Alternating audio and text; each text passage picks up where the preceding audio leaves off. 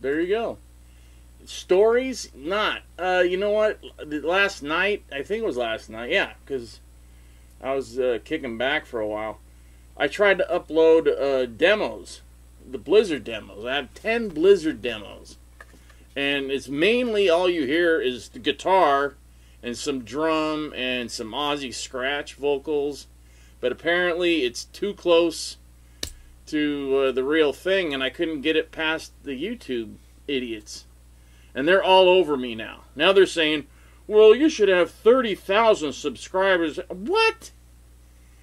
So I got to call them and, and figure this out so I can start, you know, getting paid. Because you guys helped me out to get over a thousand.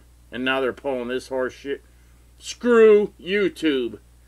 And I took a half hour survey because they wanted to know why I'm so upset with them. Oh, really? And I only got a half hour to do that? So I ripped into them, and then uh, they blocked all of those Randy demos. And then I just put out an interview that was at the end of the tape because uh, I digitized this another tape I found, and it was demo tape, all the Blizzard demos, and I have never heard them online. I man, I've had them, but I, I guess some of you might have heard, but they're really good. Like the one guy that did that, he put it out like uh, uh, the unheard uh, Crazy Train thing. It's just the first version of Crazy Train, really, with all the noises and stuff Randy was doing with his guitar. I put that, Goodbye to Romance, uh, Suicide Solution, I don't know, a Crazy Train, uh, uh, Steal Away, Revelation, uh, uh, it was a demo of uh, was the one that the guy said he didn't like, but I said, dude, that's that's a good song. Oh well, No Bone Movies, which is actually better. The demo is better than what is on the album. I tried to get it up there for you guys, but it didn't work. So sorry about that. I mean, I uploaded five, and I was doing the next five, and they just were blocking them and blocking them, and I couldn't get them through. So you got the interview, and I just threw it up there, you know, 82 interview because that's the diary tour, 82. It didn't start officially. It started in 82.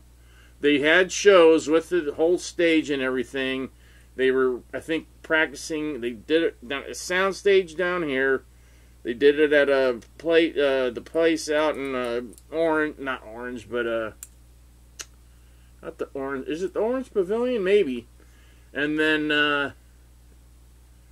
the the Cow Palace is when this chick was interviewing uh, Randy, and it was for a radio thing. I, I'm pretty sure but uh, I didn't even know that was on there. And I'm like, oh, well, I'll put this on there.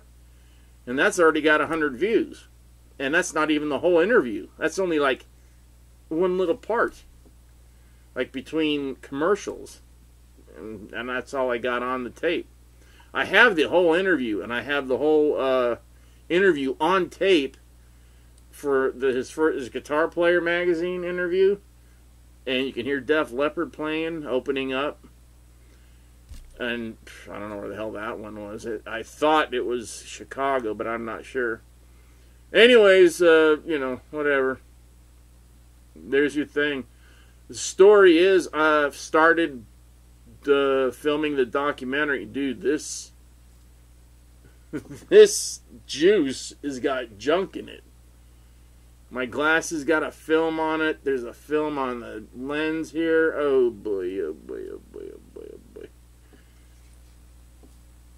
Anyways, um, so I started filming the documentary with uh, Carlos Knight, and uh, we're gonna do our next one is on Wednesday, but we did one uh, yesterday. No, Thursday, Wednesday, and Thursday. So here we go, bro.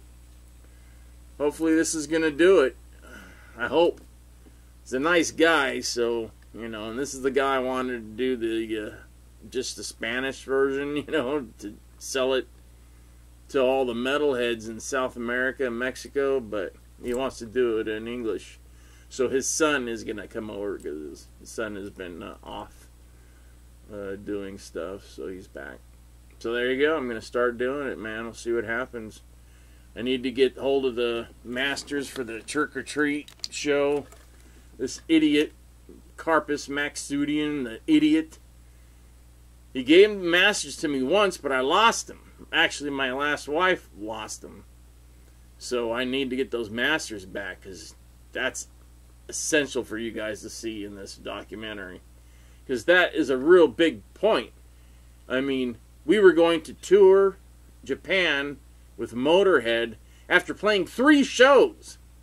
And we were booked for six months, and we had a showcase sitting at Audible rehearsal studio, waiting, waiting, waiting for Mandy to show up. Mandy Lion never showed up.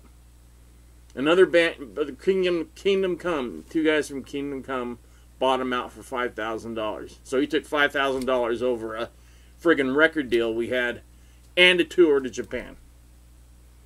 He's an idiot. He also blew the whole Iron Maiden tour. He blames on Tracy, but who made who was on tour with Dio for nine years? Not Mandy. He was out hiding. So his whole thing is BS, and uh, the guy lied. He's like a not a perpetual liar, a compulsive liar. I like him. We were good friends. It's just you know, I just see his lying and his denial of stuff, and I'm like, dude, you're an idiot. So I got to get that, and then I got to see who I'm gonna have in it from Fatal Attraction, you know, because I want it to be good, and I want it to be interesting for you guys, and so I want to interview, get this guy to interview as many people as possible. You don't want to hear just me talking, do you? And then see pictures and videos flashing up. Boring.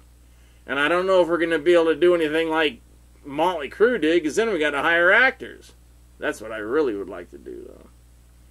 And I was going to do that because there's a guy at my church, and he's a big actor. You all know him. He's been, he was in a Goofy movie based in Idaho yeah. But uh, you know, you know how that is. He's got enough time for SpongeBob, but not me. So it's just it's hard to put stuff together like that, especially with like a guy that's doing his own thing and like he is. Uh, I get it. Look what Motley Crue did. Look who they had to bring over guys from three of them, two of them, two of them are from Europe, and two here, the Vince Neil and the Mick, or no, not Mick. Uh, Tommy guy was a rapper, and Vince. I don't know who the Vince Neil guy.